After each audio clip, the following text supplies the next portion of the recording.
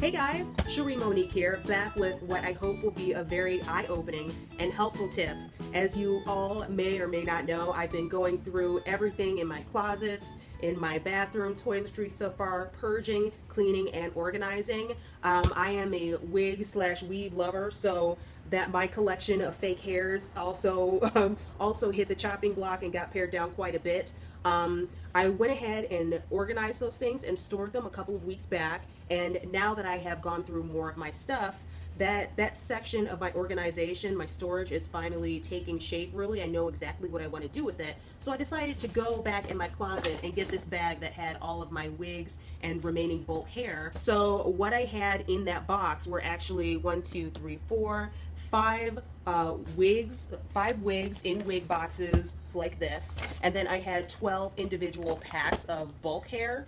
Um, and I mean, the, my my collection was a lot smaller than when I started, but it was still taking up a lot of space. So what I did is I actually thought, hey, you know what? Let me put these in vacuum seal bags. So I got a couple of bags, thinking, you know, we'll, we'll see how this goes. And this is what happened all 12 of my packages of bulk hair fit in here quite comfortably, full length. And then I decided because this is going to be um, in storage for a longer while and I know that I won't be wearing Nikki for a while, I, just, I decided to put her in here as well.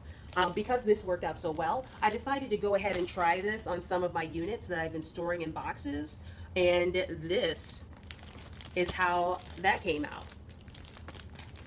So for me, I don't know about you, but when I collect things, I really do like keeping the original packaging. So I got all my shoes in the original box, if possible. Same thing with the wigs. Um, but I really have gotten tired of all the space that the extra packaging takes up, and I decided to compromise and get rid of the the extra uh, packing stuff that bulks up, you know, that makes the that gives the bag its form and its shape. And I'm actually really, really happy with this so far. Um, I basically just took out, took the wig out of the box. Actually, I filmed it so you can see this.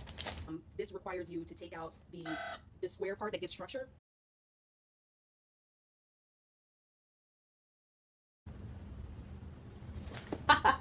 I'm telling you, this whole tip video is right on time because this is my new order, my new shipment of wigs from Hair Sister. So yeah, not a moment too soon with this, for sure. Back to the video here. Um, all right, guys, so what I do is I take the wig, um, the wig itself out of the, the plastic package. So we got this box, toss the box.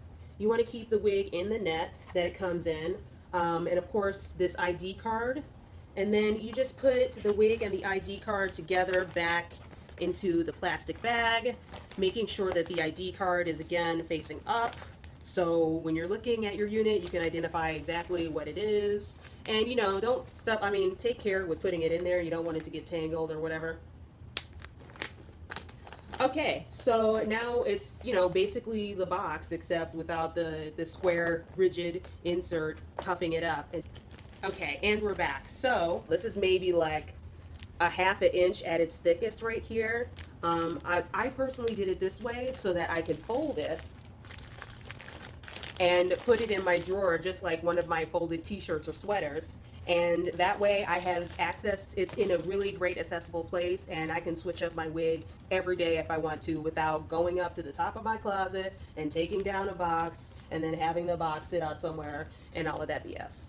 Um, so yeah, this is what I did with it, but again, sky's the limit on this one. If you want, you could actually do back to back, um, and then, you know, stuck eight wigs in here. You can maybe even do more than that. I personally just didn't want to do it because, well, one, I don't have any more, well, I guess I do have more new units at this point, but you get the drift. So if you guys found this helpful, please go ahead and give me a thumbs up. If you like this and you'd like to see more videos, or maybe some of my purge slash declutter videos, go ahead and subscribe so you can see them and not miss any of the future ones that are coming up. Again, thank you so much for hanging out, for watching this video. I hope you guys take this and implement it in your lives. And um, that's all for today. So thank you guys so much for watching, and I will see you again very soon. Peace.